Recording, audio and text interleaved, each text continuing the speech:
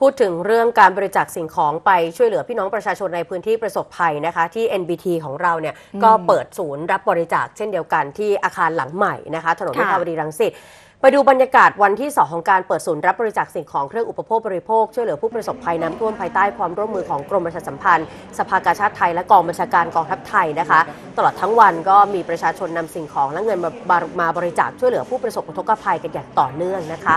อย่างที่บอกและว่าในยามวิกฤตคนไทยไม่เคยแรงน้ำใจและไม่ทิ้งกันแน่นอนนะคะ โดยตลอดทั้งวันที่อาคารใหม่ของ NBT ถนนวิภาวดีรังสิตก็มีประชาชนหน่วยงานภาครัฐ ภาคเอกชนนำสิ่งของจำเป็นทั้งเสื้อผ้า เครื่องนุ่งห่ม นมกล่องน้ำดื่ม อาหารสำเร็จรูป ผ้าอ้อมสำเร็จรูป มาร่วมบริจาคกกันอย่างต่อเนื่อง โดยมีท่านอธิบดีกรมประชาสัมพันธ์นางสุรทัยเลิศเกษมพร้อมด้วยท่านรองอธิบดีกรมประชาสัมพันธ์นางจัญญาอัมพิรันและก็ผู้บริหารกรมประชาสัมพันธ์นะคะ มาคอยรับมอบสิ่งของและก็แสดงความขอบคุณที่มีผู้มาร่วมบริจาคกันนะคะ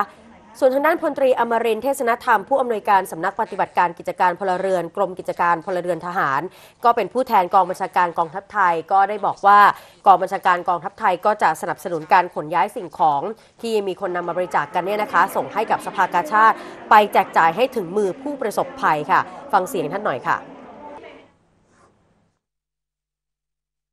ตอนนี้ทางกรมประชาสัมพันธ์ ก็ได้เชิญชวนนะครับ ผู้ที่ใจบุญนะครับบริจาคสิ่งของเครื่องใช้ต่างๆเนี่ยโดยมีที่ที่นี่นะครับที่ NBT ของกรมสัมพันธ์เนี่ยเป็นศูนย์กลางนะครับ โดยทางกองบัญชาการทัพไทยเนี่ยเราก็จะขอร่วมด้วยนะครับ ในเรื่องการขนย้ายสิ่งของนะครับ ไปส่งยังสภากาชาติ เพื่อให้ทางสภากาชาติเนี่ยได้นำสิ่งของเหล่านี้ไปแจกจ่ายถึงมือกับผู้ที่ประสบอุกภัยโดยตรงนะครับเพราะฉะนั้นก็ในโอกาส ที่เราเป็นคนไทยด้วยกันนะครับ มีพี่น้องคนไทยที่เดือดร้อน หน่วยงานของรัฐนะครับแล้วหน่วยงานภาคเอกชนต่างๆเนี่ยได้มาร่วมมือกันเนี่ยถือว่าทุกคนได้ทำบุญกุศลร่วมกันนะผมก็อยากจะเชิญชวนทุกท่านนะครับ ใครที่ได้รับชมรับฟังนะได้มามาที่นี่นะครับแล้วก็จะได้เจอได้รับกิจกรรมที่ทุกคนจะได้อิ่มเอมใจไปด้วยกันนะครับ ส่วนทางด้านนางจิรนันพิปรีชากรรมการมูลนิธิสืบนะคะเสถียรก็บอกว่าได้ร่วมสนับสนุนทุนทรัพย์เพื่อที่จะนำไปใช้ในการบริหารจัดการช่วยเหลือผู้ประสบภัย รวมถึงยาสามัญประจำบ้าน เสื้อผ้าและผ้าห่ม ซึ่งยังเป็นของจำเป็นนะคะ แล้วก็เชิญชวนพี่น้องประชาชนมาช่วยเหลือผู้ประสบภัยกันค่ะ แล้ววันนี้มูลนิธิสืบนะคะสลิเสถียรมาช่วยจัดคอนเสิร์ตเอ่อพงเทพ กระโดนชำนาญนะฮะจุดประสงค์อันแรกก็คือลำลึก 34 ปีสืบนะคะเสถียรซึ่งเกี่ยวกับการรักษาป่าและสัตว์ป่า รวมทั้งป่าต้นน้ำด้วย มันก็เกี่ยวกันไปหมดแหละ ประจวบกับเเกิดน้ำท่วม ดินถลม่มภัยพิบัติครั้งใหญ่ทางภาคเหนือของประเทศไทยเนี่ยนะ ก็เลยมาทีเดียวสองอย่างเลย การบริจาคข้าวของนะฮะที่ดีที่สุดคือ ให้เงินกับหน่วยงานสถาบันที่เชื่อถือได้ อย่างเช่น สภากาชาติไทย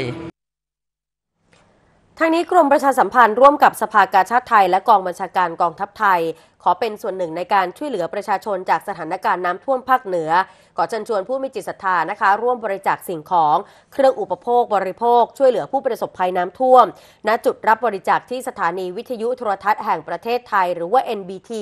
ที่ตึกใหม่ถนนวิภาวดีรังสิตนะคะ ผู้ที่ประสงค์จะบริจาคนะคะ ก็สามารถติดต่อสอบถามเข้ามาก่อนก็ได้นะคะ ที่หมายเลขโทรศัพท์ 0922469633 หรือว่า 061-402-4624 ค่ะ หรือว่าจะบริจาคเงินสดเข้าบัญชีสภากาชาติไทยเพื่อภัยพิบัติ ธนาคารไทยพาณิชย์จำกัด สาขาสภากาชาติไทย บัญชีกระแสรายวัน เลขที่บัญชี 045-3-04637-0 ค่ะ และคุณผู้ชมสามารถติดตามสถานการณ์อุทกภัย ความช่วยเหลือประชาชนในพื้นที่จังหวัดเชียงราย รวมทั้งผู้ที่ประสบภัย สามารถติดต่อขอความช่วยเหลือมาทางเพจของ NBT Connect แล้วก็เพจ Live NBT 2 HD นะคะ ที่คุณผู้ชมติดตามไลฟ์สดในเวลานี้